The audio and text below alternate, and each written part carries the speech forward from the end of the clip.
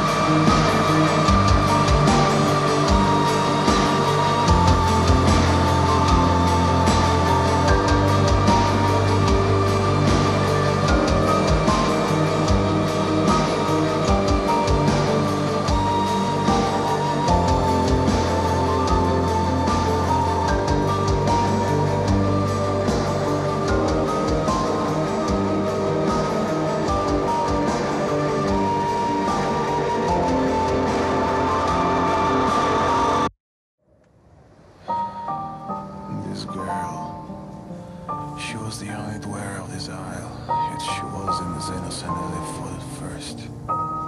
She was the demon. So am I. Now I realize all the time that the thing in my visions